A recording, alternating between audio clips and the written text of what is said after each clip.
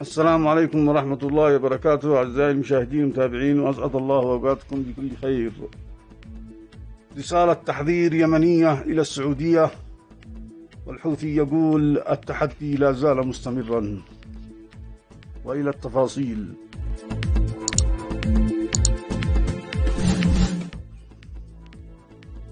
وجهت حكومة صنعاء رسالة إلى السعودية وبقية دول الخليج دعتها فيها إلى اتخاذ مواقف عقلانية والابتعاد عن العدائية وحذرتها من أن أي خطوة غير مدروسة ستهدد استقرار المنطقة برمتها.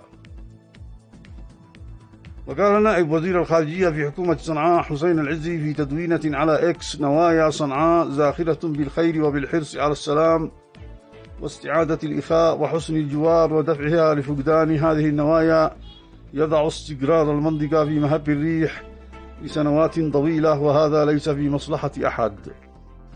مضيفا إن من لديه ذرة نور في قلبه سيدرك أن هذا ليس تهديدا بقدر ما هو دعوة أخوية واضحة وصادقة لعقلنة المواقف وتجنب العدائية المفردة قبل فوات الأوان.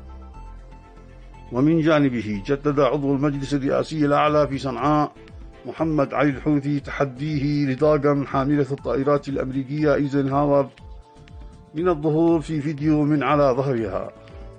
وقال الحوثي في تدوينة على إكس بشأن نفي أمريكا تعرض حاملة الطائرات الأمريكية آيزنهاور لأضرار جراء استهدافها من قوات صنعاء.